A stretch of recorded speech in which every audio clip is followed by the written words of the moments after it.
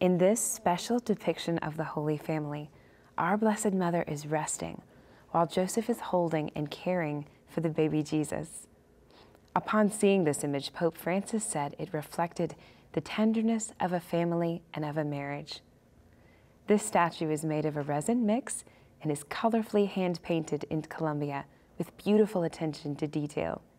You can see Mother Mary is holding St. Joseph's hand, and baby Jesus is reaching up to touch St. Joseph's face with love. It's mounted on a round plaster base.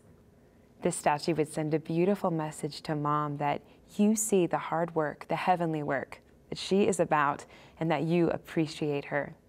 Every mom needs support and help, no matter how well she carries her load.